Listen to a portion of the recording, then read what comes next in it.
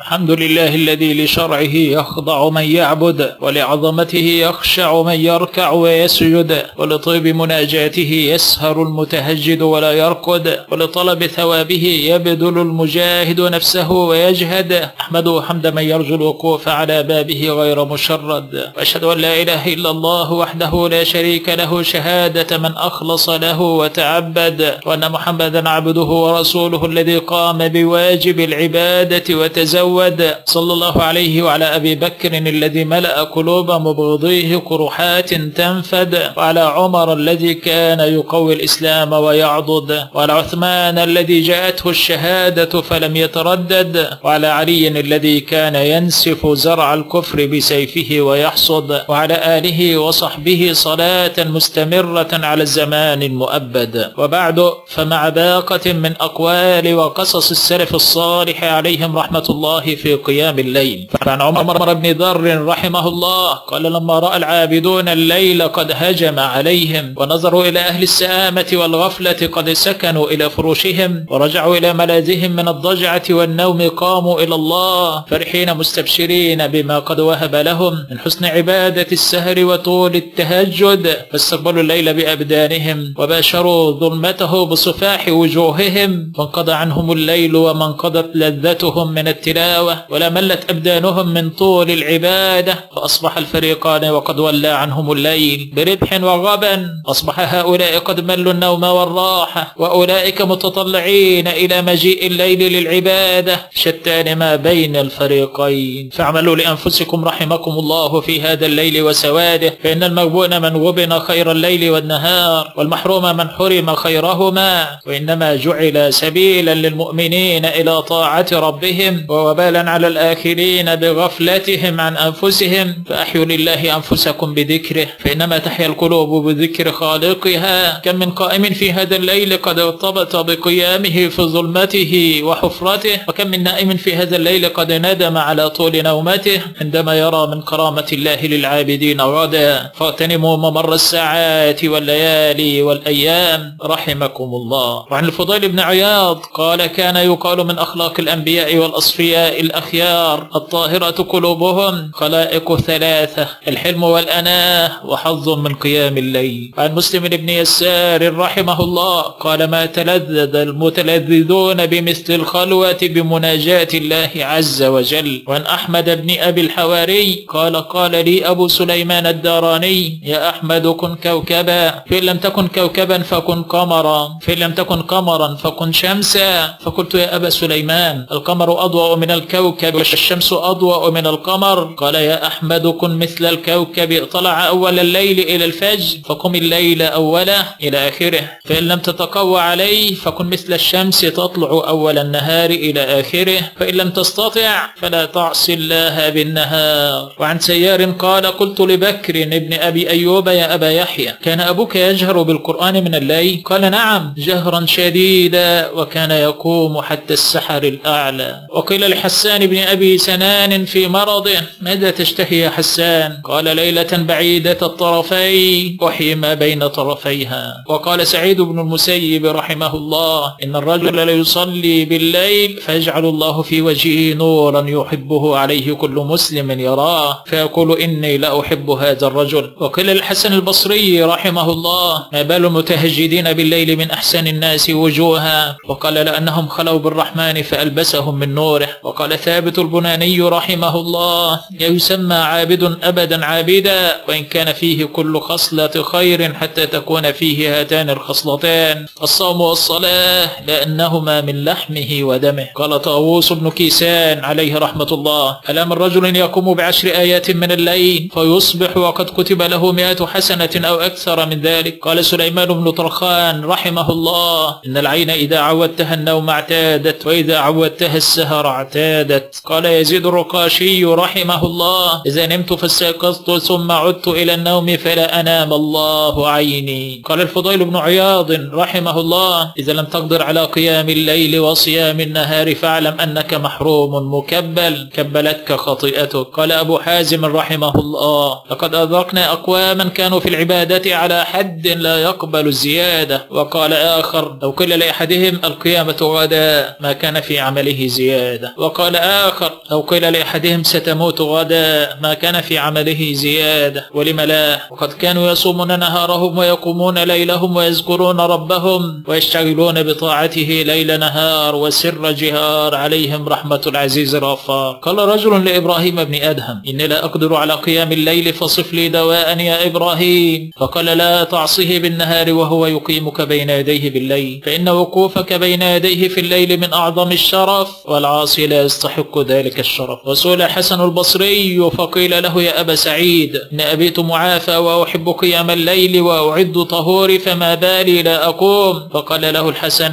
ذنوبك قيدتك. فقال رجل الحسن البصري أعيان قيام الليل؟ فقال قيدتك خطاياك. وقال الفضيل عليه رحمة الله أدركت أقواما يستحيون من الله في سواد هذا الليل من طول الهجعة إنما هو على الجنب فإذا تحرك أي أفاق من نومه. قال ليس هذا لك. قومي خذي حظك من الآخرة. قال هشام الدستوائي عليه رحمة الله إن لله عبادا يدفعون النوم مخافة أن يموتوا في منامهم. قال عمر بن عبد العزيز رحمه الله أفضل الأعمال ما أكرهت إليه النفوس. كان أبو إسحاق السبيعي رحمه الله يقول يا معشر الشباب جدوا واجتهدوا وبادروا أوقاتكم واغتنموا شبيبتكم قبل أن تعجزوا فإنه قلما مرت علي ليلة إلا قرأت فيها بألف آية. أي في قيامه عليه رحمة الله. كان بعض الصالحين يقف على بعض الشباب العباد إذا وضع لهم طعامهم ويقول لهم لا تأكلوا كثيرا فتشربوا كثيرا فتناموا كثيرا فتخسروا كثيرا. وعن ابن عمر رضي الله عنهما أنه كان يحيي الليل بصلاته ثم يقول يا نافع أسحرنا؟ جاء وقت السحر؟ فيقول له نافع لا. فيعاود الصلاة ثم يقول يا نافع أسحرنا؟ فيقول نعم. فيقعد ويستغفر ويدعو الله حتى يصبح أي حتى يؤذن لصلاة الفجر. وعن أبي عثمان النهدي قال تضيفت أبا هريرة سبع ليال فكان هو وخادمه وامرأته يتعقبون الليل أثلاثا. يقوم أحدهم ثلث الليل أولا ثم يوقظ الثاني فيستيقظ فيصلي أوسط الليل ثم يوقظ الثالث فيقوم حتى أذان الفجر ثم يوقظ الجميع لصلاة الفجر. وعن إبراهيم النخعي قال لما كبر عمرو بن ميمون واتد له وتدا في الحائط فكان إذا سئم من طول القيام استمسك به أو ربط حبلا فتعلق به أي من طول قيامه عليه رحمة الله. وكان مالك بن دينار عليه رحمة الله يصلي ليلة ويدعو ربه ويقول يا رب إذا جمعت الأولين والآخرين فحرم شيبة مالك بن دينار على النار. وكان ربيع بن خثيم يقوم ليلة فقرأ مرة بقوله تعالى أم حسب الذين اجترحوا السيئات فأخذ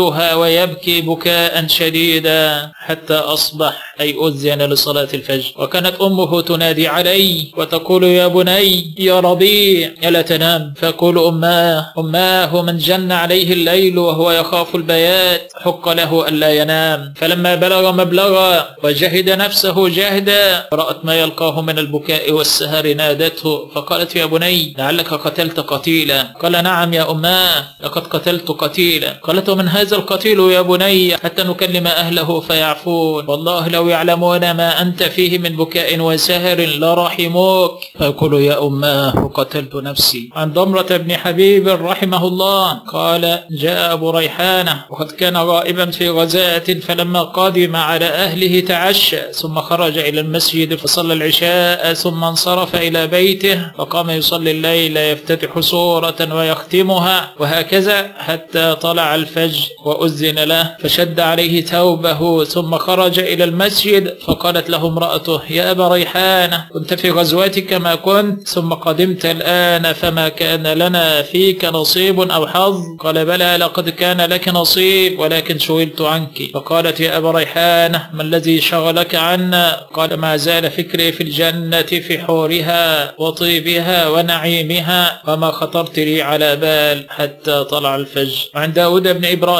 قال حبس الأسد الناس ليلة في طريق الحج وفرق الناس بعضهم بعضا فلما كان وقت السحر نزل الناس يمينا وشمالا فألقوا أنفسهم وناموا من شدة التعب فقام طاووس يصلي قيام الليل والناس نائمون. فقال له رجل ألا تنام؟ إنك قد تعبت الليلة كما تعبنا. فقال طاووس هل ينام السحر أحد؟ أي من ذوي الهمم العالية. وكان صفوان يصلي في الشتاء في السطح وفي الصيف في بطن الليل يتيقظ بالحر والبرد حتى يصبح ثم يقول هذا الجهد من صفوان وأنت الرحيم الرحمن. وكانت امرأة حسان تحكي عنه فتقول كان يجيء معي فيدخل في فراشي ثم يخادعني كما تخادع المرأة صبيها. فإذا علم أني قد نمت سلى نفسه فخرج ثم قام فصلى الليل. فقلت له يا أبا عبد الله كم تعذب نفسك؟ ارفق بنفسك. فقال اسكتي ويحك فيوشك أن أرقد رقدة لا أقوم منها أبدا. يعني في القبر. فكان محمد بن المكادر عليه رحمة الله يقوم الليل ويرفع صوته. فكان يقال له يا محمد لم ترفع صوتك هكذا؟ قال إن لي جارا يشتكي يرفع صوته بالوجع وأنا أرفع صوتي بالنعمة. وكان أيوب السختياني يقوم الليل كله فيخفي ذلك. فإذا كان عند الصبح رفع صوته كأنما قام من نومه تلك الساعة. يخفي قيامه عن الناس رغبة في الإخلاص عليه رحمة الله. وكان سعيد بن جبير يبكي الليل حتى أصابه العمش أي ضعف البصر عليه رحمة الله. وكان عمرو بن عتبة يخرج على فرسه ليلا فيقف على القبور فيقول يا أهل القبور قد طويت الصحف ورفعت الأعمال. ويصف قدميه يبكي لله يقوم الليل حتى يطلع الصبح عليه رحمة الله. وكان سعيد بن المسيب عليه رحمة الله يقول صليت الفجر خمسين سنة بوضوء العشاء وكان يسرد الصوم أي يصوم الأيام كلها إلا الأيام التي قد نهي عنها. وقال محمد بن المكادر عليه رحمة الله كبت نفسي أربعين عاما حتى استقامت لي. قال ثابت البناني كبت نفسي على القيام عشرين سنة واستمتعت به عشرين سنة أخرى. وكان أحد الصالحين يصلي الليل حتى تتورم قدماه فيضربها ويقول يا أمارة بالسوء ما خلقت إلا للعبادة. وكان عبد العزيز بن أبي رواد عليه رحمة الله يفرش له فراشه بالليل لينام عليه فكان يضع يده يتلمس فراشه ويقول ما ألينك؟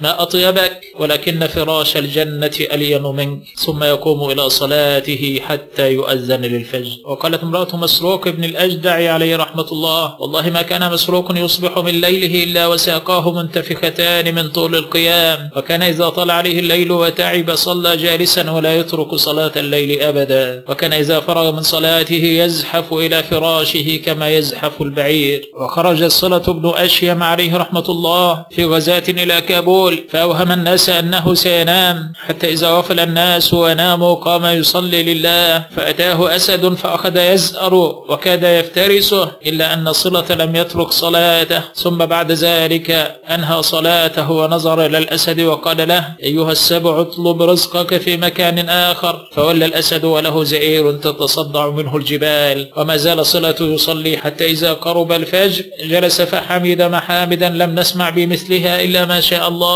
ثم دعا ربه فقال اللهم إني أسألك أن تجيرني من النار ومثلي يجتر أن يسألك الجنة. قال أبو جعفر البقال دخلت على أحمد بن يحيى فرأيته يبكي بكاء كثيرا ما يكاد يتمالك نفسه وقلت له أخبرني ما حالك؟ فأراد أن يكتم لي فلم أدعه فقال لي فاتني حزب البارحة أي من قيام الليل ولا أحسب ذلك إلا لأمر أحدثته فعوقبت بمنع حزبي ثم أخذ يبكي فأشفقت عليه وأحببت أن أسهل الأمر عليه فقلت له ما أعجب أمرك؟ لم ترضى عن الله تعالى في نومة أنامك إياها حتى قعدت تبكي. دع عنك هذا يا أبا جعفر فما أحسب ذلك إلا من أمر أحدثته. ثم غلب عليه البكاء رحمه الله. وكان سفيان الثوري يخاطب الشباب فيقول لهم قوموا يا شباب صلوا ما دمتم شبابا إذا لم تصلوا اليوم فمتى تصلون؟ ودخلت إحدى النساء على زوجة الإمام الأوزعي رحمه الله. فرأت تلك المرأة بللا في موجود الأوزعي فتعجبت لذلك وقالت لامرأته سكلتك أمك؟ أراك غفلت عن بعض الصبيان حتى بال في مسجد الشيخ في مكان صلاته. فقالت لها امرأته ويحك هذا يصبح هكذا كل ليلة من أثر دموع الأوزاعي في سجوده وهو قائم الليل. عليه رحمة الله. كان أبو مسلم الخولاني رحمه الله يصلي من الليل فإذا أصابه فتور أو كسل. قال لنفسه أظن أصحاب محمد أن يسبقون والله لأزاحمنهم عليه حتى يعلموا أنهم خلفوا بعدهم رجالا ثم يصلي إلى الفجر. لو رأيتهم بين ساجد وراكع ودليل مخمول متواضع ومنكسر الطرف من الخوف خاشع إذا الليل حن الجازع تتجافى جنوبهم عن المضاجع. نفوسهم بالمحبة علقت وقلوبهم بالأشواق فلقت وأبدانهم للخدمة خلقت. يقومون إذا انطبقت أشفان الهاجع تتجافى جنوبهم عن المضاجع. يبادرون بالعمل الأجل ويجتهدون في سد الخلل ويعتذرون من ماضي الزلل والدمع لهم شافع تتجافى جنوبهم عن المضاجع. سبق يا هذا القوم بكثرة الصلاة والصوم إذا أقبل الليل حاربوا النوم والعزم في الطوالع تتجافى جنوبهم عن المضاجع. ينادي منادي تائبهم لا أعود والله ينعم بالقبول ويجود هم يا هذا من الكون المقصود فما حيلة المطرود والمعطي هو المانع. تتجافى جنوبهم عن المضاجع. كن يا هذا رفيقهم. ولج يوما مضيقهم واسلك طريقهم فالطريق شاسع تتجافى جنوبهم عن المضاجع. اهجر بالنهار طيب الطعام ودع بالليل لذيذ المنام. والله يدعو إلى دار السلام فما يقعد السامع تتجافى جنوبهم عن المضاجع. يا من يرجو مقام الصالحين وهو مقيم مع الغافلين. يا من يأمل منازل المقربين وهو ينزل مع المذنبين. دع عنك هذا الواقع تتجافى جنوبهم عن المضاجع. الصدق الصدق به تسلم الجد الجد به تغنم البدار البدار قبل أن تندم. هذا هو العلاج النافع. تتجافى جنوبهم عن المضاجع. وأخيرا إن أردت أن تحظى بمضاعفة هذه الأجور والحسنات فتذكر قول سيد البريات من دل على خير فله مثل أجر فاعله. والحديث في صحيح مسلم. تم الكلام وربنا الودود وله المكارم والعلا والجود. وعن النبي محمد صلواته ما ناح قمري وأورق عود. أقول قولي هذا أستغفر الله لي ولكم. والسلام عليكم ورحمة الله وبركاته.